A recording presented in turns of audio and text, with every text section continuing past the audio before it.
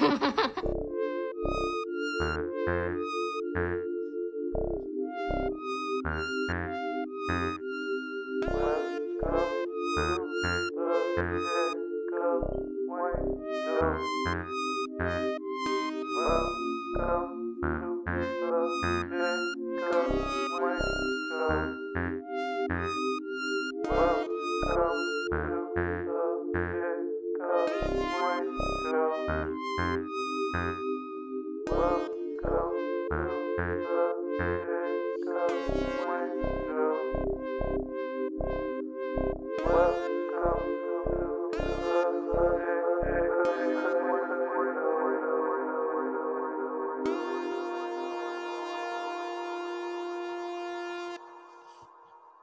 Welcome to the Jacob Wayne Show. I am your Jacob Wayne, and this is volume one of what I think I'm going to call Eking One Out. This is Eking One Out, volume one. And why are we calling it that? Because I almost skipped another week. I'll admit it. I'll be honest with you. I'm pretty damn tired. I got back from that fun Super Bowl vacation might even talk about that a bit more in the next episode. This episode just seems like I would miss delicious details about all that if there are any to be gone over. And essentially did that trip, had my buddy Corey here. We were going over some Fakoshka uh drumedy drums and bassity basses. And uh, that was fun and it was great. But after a trip home, see family and friends was pretty fast paced. Have a guest in town for the rest of that week and the weekend, and then started up work on Monday.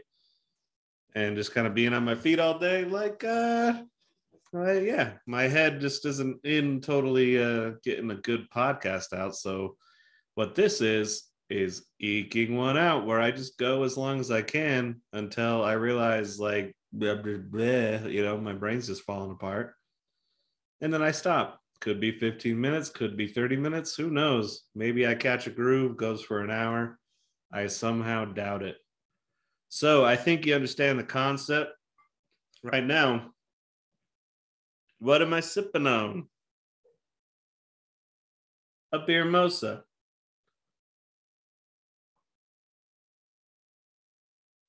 Hmm. Now, believe it or not, I had never really considered or thought about beer most as much until last week, which, as I was saying, Corey was visiting. So we were hitting up all our favorite uh, little food spots in Fort Collins. And I think I made a post about this on my Instagram, but it was mainly just saying that it's nice to have visitors in town when you go to one of your favorite restaurants because they can kind of suggest something that you never even thought about getting off of the menu. So, excuse me.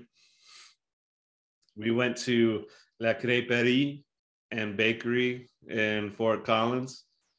Then, after we had our delicious meal at La Crêperie, I usually get the ham and cheese galette with the side of smoked salmon uh, we stopped in on the bakery, and I don't have way too much of a sweet tooth, but Corey said, let's get one of these. Uh, no, oh, see, this is why this is an eking and out episode because my brain's like, Meh. it was an eclair, a certain type of eclair, another flavoring or type of tiramisu. I didn't even have to pull it up; it popped right back in there, folks. Tiramisu eclair never had such a thing. That was quite tasty and delicious. Then the next day we go to Lucille's, which is like a Creole restaurant. And I get my usual thing. It's the eggs pontchartrain. That's trout, grits that are jalapeno and cheesy. A little bit of potatoes, got a little bit more cheese on there. And then the trout has this béarnaise sauce on it with uh, some like poached eggs. So you can just cut those and let the yolk get all up in that béarnaise and grits, and it's delicious. As we're looking at the menu, though, Corey once again points out, "Hey, check out these beer mosas."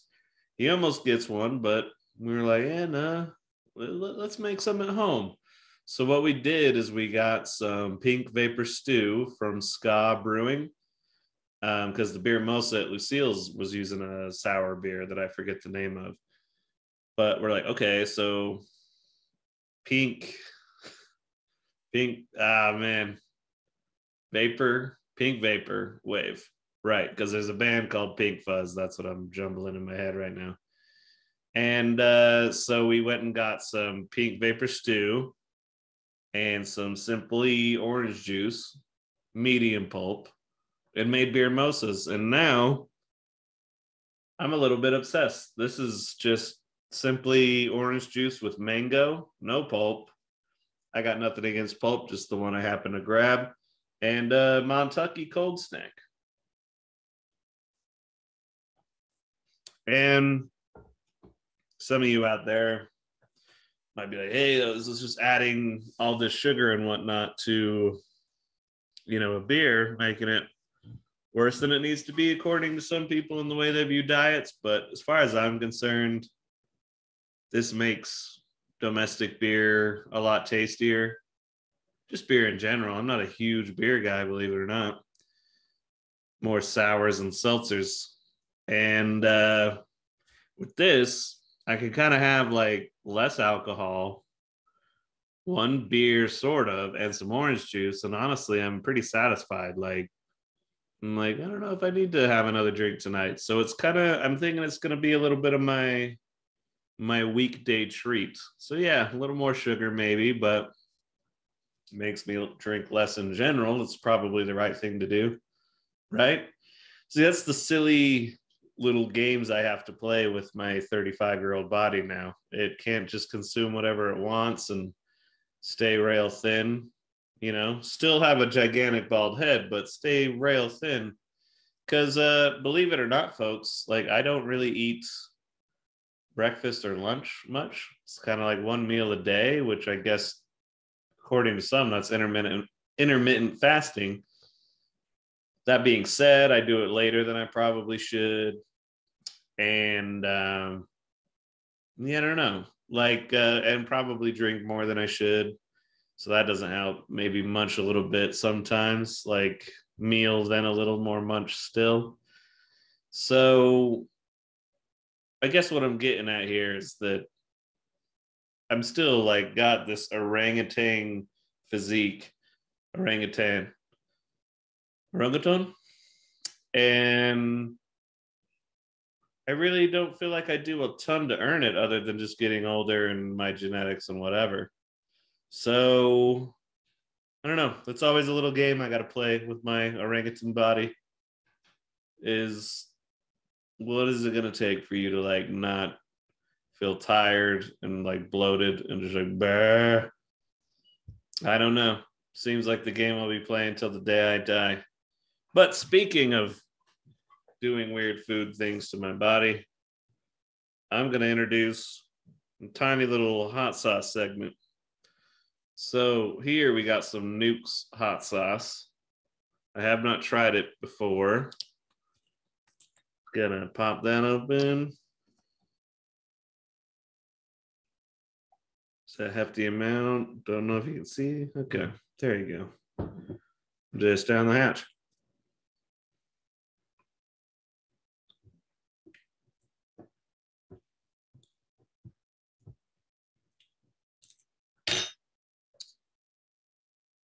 Smoky. Um, it's pretty subtle at first. Then it gets all, uh, as I said, smoky, chipotle like aftertaste. Kind of has a good swell after a minute. Um, let's see if they have anything to say. Not too many like anecdotes on the bottle, but they are manufactured in Portland, Oregon. Go Ducks, I think. Uh, Newks hot sauce on Instagram, newks underscore hot underscore sauce or nukesauce.com. I'm gonna have to have a little more beer mosa to wash that down a little bit. Mm. I will make this jug disappear. That one kind of worked.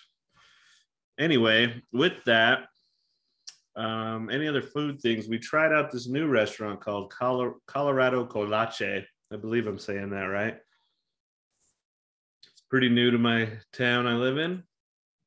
Uh, and I'd never had a kolache before, but apparently it's a type of sweet pastry that holds a portion of fruit surrounded by puffy dough. Um, it is it originated as a semi-sweet pastry from Central Europe, and they've also become popular in parts of the United States, particularly in the state of Texas. The name originates from the Czech uh, Bohemian and originally Old Slavonic word kolo, meaning circle or wheel. And uh, yeah, essentially what they started to do here in the US and in Iowa also. Um, Kolaches are often associated with Cedar Rapids and Pocahontas in Iowa, where they were introduced by Czech immigrants in the 1870s.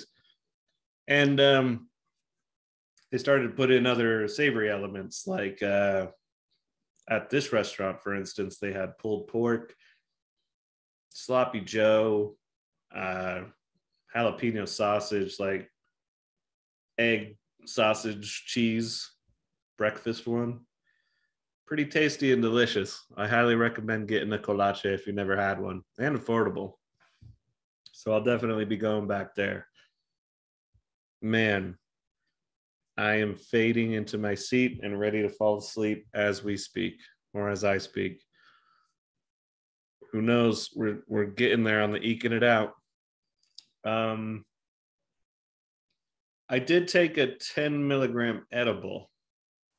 Some of you here thinking might be like, oh, well, see, you're, you're having a beer mosa and an edible. Of course you're sleepy. No, no, I was already sleepy. This kind of behavior is sleepy deliriousness. The edible's barely kicking in. It's a 10 milligram after all a watered down beer mosa. This is the thing that I don't think people realize is I become substantially more delirious and strange when I'm tired, not when I'm high or drunk. Clearly, I can get to that level drunk, as you may have seen in a past episode or two, but it takes a bit. So, this is a lot more of just barely staying awake and trying to catch a third or fourth wind for the evening. So, with that, let's get into the last segments of the show and kind of wraps it up. I didn't notice any new musical releases. All I will say, and probably also discuss more with Kellen in the future, is the halftime show for the Super Bowl was pretty great. It was not my favorite. That still belongs to Prince, but it's top three for sure. Might be even number two and obviously I'm a little bit biased. It really speaks to me and my taste, but it was just a great halftime show. It was great seeing all those artists uh, collaborating and just kind of creating that sequence of songs, and it was super satisfying. Uh, Cincinnati lost, of course they did. So no, I'm kidding. I'm sorry, Bengals. Uh, I wish they had one. Rams win. So go Stafford. I guess. The quarterback spent did his time in Detroit, leaves first year out of there, gets the Super Bowl. That's pretty cool. So music though, still I kind of wandered into the Super Bowl talk. Uh, sadly, a musician I don't know very well, Mark Lan- Lanegan of Screaming Trees and Queens of the Stone Age, has passed away at 57. Um, like I said, sadly, I don't know him too well, but it looks like he's collaborated with Kurt Cobain, Moby, Neko Case, Isobel Campbell, etc., like a bunch of people. Um, it seems he has passed away at his home in Ireland this morning, and he's just a obviously beloved singer, songwriter, and author. And if you're a big fan of him, write me in and tell me what I should know about him or what I should check out. What's his best work? Because I am just not aware of this guy. I never listened to too much of Screaming Trees or Queens of the Stone Age. So, yeah, let me know what I should be checking out. Uh, no details on how he passed away. The family's asking for respect. So with that, rest in peace. We'll move right along. Uh, movies. Man, that's another one we're gonna save for Kellen. I don't have quite the energy to properly break down the movies I saw, but I've been keeping up on the best of picture list. What I can see, I watched Nightmare Alley last night, and really only a third of it because I had started it the day before, the first one third. And holy shit, do I love Guillermo, Guillermo del Toro for his art, but this particular movie is boring as fuck to me. And I don't care what the payoff is. If it's in two minutes at the end, if you have me that bored to wait for two minutes of like, ah, oh, it ain't worth it to me. So I can break it down more with Kellen if he ends up seeing it, or I can just be more intelligible in the future. But another boring, overly long Best Picture nominee. So I'm still team Dune should win it. I don't think it will, but Dune's pretty long too, but it holds my attention. Whatever that, you know, maybe I'm just uh one of those dudes. I need laser bang bang fun time to keep my attention. I'm always tired doing these beer moses and, you know, 10 milligram edibles. How do you expect me to pay attention for two hours and, you know, 23 minutes, whatever the runtime is? You put laser, laser, boom, boom, bang, bang in there and hold my attention. So, as you can hear, I'm like losing my voice. It's been a long day. Uh, another movie I have to break down is Moonfall, which is just a glorious piece of shit. And like intimidatingly sad, glorious piece of shit, if that makes sense. Like it's it's not a glorious like a good thing. It's like, oh wow. Fuck. Like humanity's here now. That's how I felt about it. Uh, with that, let's do a quick this day in history and we'll get right on out of your hair. You can go listen to some better podcasts this week, probably. Shout out to your mom's house or the Honeydew, Josh Potter show, Trash Tuesdays. Uh, I like the Always Sunny podcast. It's recently started up. There's so much good stuff no need to just have a one-stop shop at the Jacob Wayne show. Ah, yes. Featured biography is uh, George Washington, President of the United States. Yes. He was born today in 1732. I'm recording as of February 22nd. And in Westmoreland, Virginia, he passed away age 67 on December 14th, 1799, in Mount Vernon, Virginia. So he's a Virginia boy. And some say the first president of the United States. So, how about that? Yesterday was even uh, President's Day. I wonder if that's why it's aligned like that. I'm not so sure. Also, these uh, are people that are born this day. You got Drew Barrymore. Yes. Steve Irwin. Julius Erving. Daddy, chill. Uh, Ted Kennedy. China. And Arthur Schopenhauer, German philosopher. Hmm. The featured event as of today is cloning of Dolly. Remember Dolly? I remember Dolly. And if you don't, what the hell is even that? Well, it was the clone sheep, British scientists working under the direction of Ian Wilmut at the Roslin Institute near Edinburgh, announced the birth of Dolly the sheep, the first clone of, of an adult mammal. That was in 1997. Um, this is interesting. with all the Russia Ukraine stuff going on right now that I do not have the mind to speak on. In 2014, Ukrainian President Viktor Yanukovych Yanukovych was impeached following widespread po- protests after he abandoned an association agreement with the European Union. He fled the country and was later accused of embezzlement. How about that? Daddy, chill. Uh, during the 1980 Winter Olympics against the backdrop of the Cold War, hey, more Russia Cold War talk. The U.S. ice hockey team defeated the favored Soviet team in one of the greatest upsets in the history of the Olympic Games. I don't have anything for that one. 1950 American basketball player Julius Erving, who is one of the most colorful and exciting figures in the game during the 1970s and 80s, was born. I already told you that. So looks like I am running out of stuff. With that, I suppose we'll wrap up this Eking It Out Volume 1 episode. I hope you enjoyed it as much as I desperately tried to. Go get yourself some Newk's hot sauce, try a beer mosa, get a kolache or two, and we'll see you next time. Bye bye. Thank you for listening to The Jacob Wayne Show.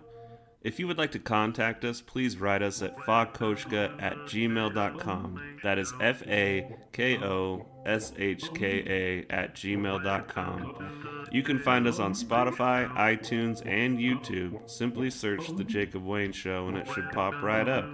Make sure you like and subscribe and leave a review and share this podcast with your friends. Please write us. It helps add content to the show and makes the show even better for you, the listener. Thanks for tuning in.